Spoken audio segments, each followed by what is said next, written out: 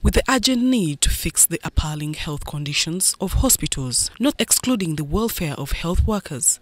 The management of Mulago Hospital has constructed over 110 self-contained housing units for its health workers. 110 and we have also started construction of another 150 which are going to be on the opposite opposite those ones that one is also already in plan. We have already awarded a contract. Maybe in the next two two years we should be having another 150 uh, also being occupied by our health workers The executive director says that the plan is to accommodate health workers to enable them concentrate while on duty. free of charge, no, no, no payment.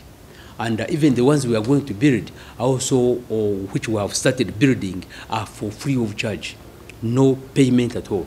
But they should pay for their own water and their own electricity because we don't know how much actually people use for their water and for their electricity needs.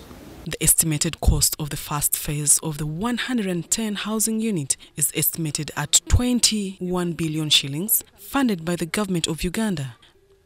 And the 150 units are to cost 31 billion shillings. Our main plan is we want to have at least a minimum of um, uh, 2,000 housing units because the establishment of Mulago Hospital is 3,075 health workers. And yet there are also other health workers who work with us who are not on establishment. For example, we have those who are doing postgraduate uh, courses in relevant in the relevant clinical disciplines. Uh, when we, we build 2,000 housing units, it means we have come almost halfway, but slightly below halfway of our, our total requirement. Dr. Biaruhanga notes that they used random selection of the health workers to occupy the units, but with special interests. The other criteria is that there are people who work in emergency areas.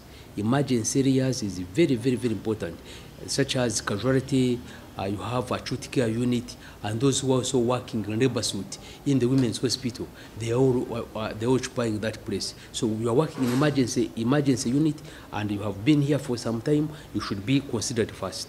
Now, as to the It should be noted that Mulago National Referral Hospital Housing Initiative started in 2014.